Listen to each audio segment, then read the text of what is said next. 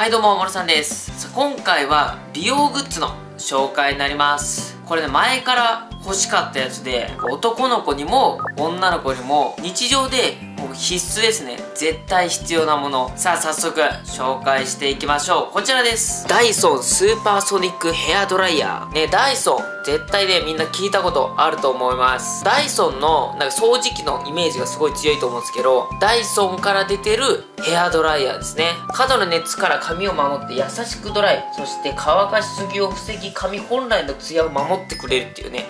もう最強のドライヤーですね。これやばくないですか？前にも僕言ったことあると思うんですけど、まあ結構家電とか好きで、もうこういうの見ると超ワクワクしちゃうんですよね。てかもうパッケージがだって見てこれ。かっこよすぎでしょ箱からしてもうセンスの塊やべえな周囲の風を巻き込み気流を3倍にして増幅させますとか言ってやばいでしょもう必殺技の説明みたいになっても早速ねこう箱をね見ててもしょうがないんでちょっと開けていきたいと思いますオープン。うわはい。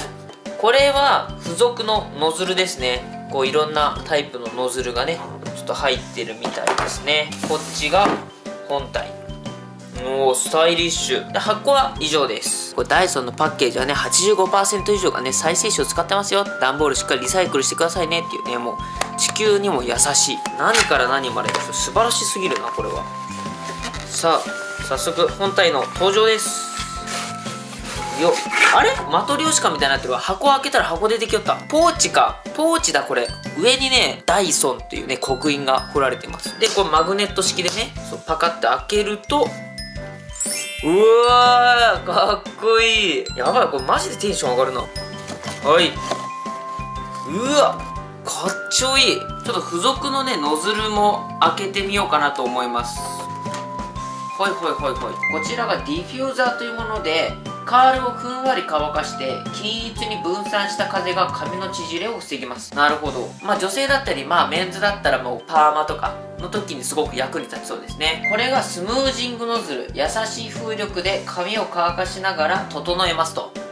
なるほどね。でこれなんかポーチの中にねもう一個ちょっとね似てるのが入ってるんですけどこっちはスタイリングコンセントレーターブローしたい箇所に的確に修復しますと、まあ、こっちのスムージングノズル。こっちはこう広く風が出るようなイメージですね。でこう縦細になってるんで横向きにしたりとか向きを変えつつ、まあ、広範囲にやるということで風力がこっちの方がちょっと拡散する感じですね。ほんでちょっと似てるこっちのスタイリングコンセントレーター、まあ、こっちはこう一直線にバーって出る感じ。風力がこうちょっと集中的に来る感じで、まあ、集中的にやりたいとこ。メンズだったら多分この鉢とか押さえたい時とかにこう風がグワーって来てくれるっていうような感じですねきっと。これ3つともアタッチメントがマグネット式になっているみたいなので簡単に着脱ができるそうです。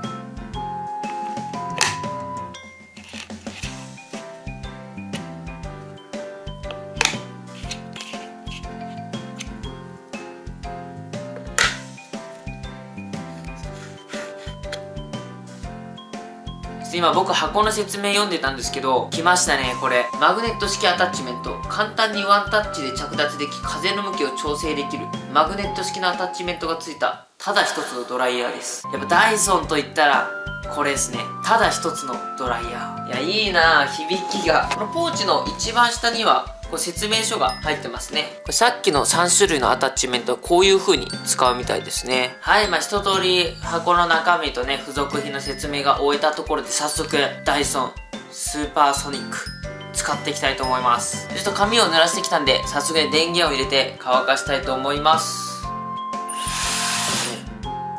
結構びっくりした。結構びっくりした。おお意外と強いな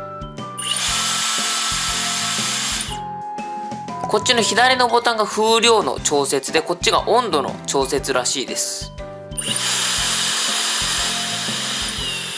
おお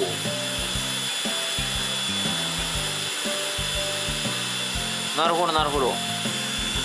あーちょっとぬるくなった。温度は全部で4段階らしいですね。風量は3段階。やばいねこれ。めっちゃパワフルじゃん、まあ、さっき箱にも書いてあったんですけど過度な熱から髪を守ってこう優しくドライとスタイリングをしてくれるということで、まあ、ドライヤーの後にもねアイロンだったりコテだったりね熱処理をすると思うんですけどやっぱ一番最初の熱処理ドライヤーね。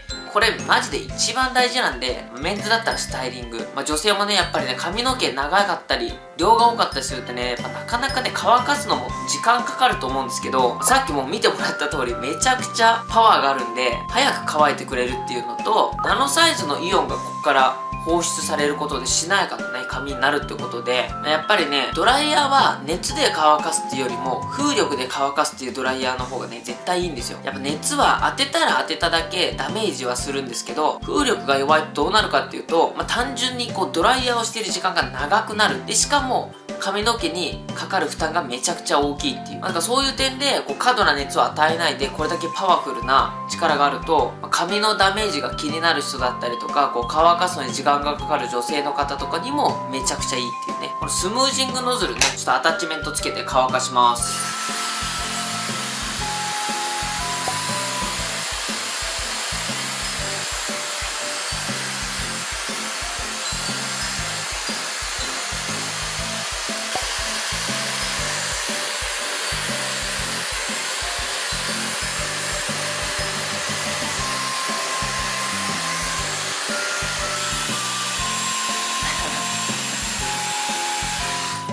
やべえ風力がすごいこれ。はい今回このねダイソンのスーパーソニックヘアドライヤーをね使ってみたんですけどこれはマジでめちゃくちゃいいっす、まあ、作りもねもうめちゃくちゃしっかりしてるし性能はもちろんめちゃすごいっていうのはねもうみんな分かってると思うんですけどあの作りが一つ一つすごい丁寧だったのが開封しててより気持ちを高ぶらせるというかなんかほんと全部がすごいしっかりしてるなって思いました。めちゃくちゃいい商品だなと思いました。でまあ時期的にもねまあ今だったらクリスマスとかまたねお正月とかでね、まあ、買ったりとかもいいと思います。まあちなみに僕があげるとしたら、まあ、美容師仲間の友達にあげたいですね、まあ、やっぱねダイソンのドライヤー。美容師の間でもね結構やっぱ話題になってるんで。結構ね周りの子もみんな欲しがってるんですよ。うちのお店にも1台これ置いてあって実は、まあ、僕は原宿店の勤務なんでないんですけどそのオーシャン東京の本店の方でこれを1台使ってます、まあ、このドライヤー自体が、まあ、決して安いものじゃなくてドライヤーの中ではねちょっと高い部類に入るのでプレゼントとしてもらったらね絶対ねいい反応もらえると思います。でしかもドライヤーって日常品なんでもらって困ることは絶対ないっていうね、それがめちゃいいですよね、なんかねクリスマスとか、まあ、お正月だったり、まあ、誰かの誕生日とかにあげても絶対ね喜ばれるしまあ、もらった側も困らないというね、まあ、自分のご褒美で買うもよし誰かのプレゼントにあげるもよしぜひね一度これ手に取っていただいて使ってみてほしいです。はいというわけで今回はダイソンスーパーソニックヘアドライヤーの紹介でした、まあ、男性にも女性にもねぜひ、ま髪のダメージだったり、ま髪を早く乾かしたいとかスタイリングする際の土台作りをきちんとやりたい、まそんなね男性や女性の方ぜひ使ってみてください。で下の概要欄にこちらのねダイソンのスーパーソニックヘアドライヤーの詳細の URL 貼っておきますので、ぜひチェックしてみてください。それでは最後までご視聴いただきありがとうございました。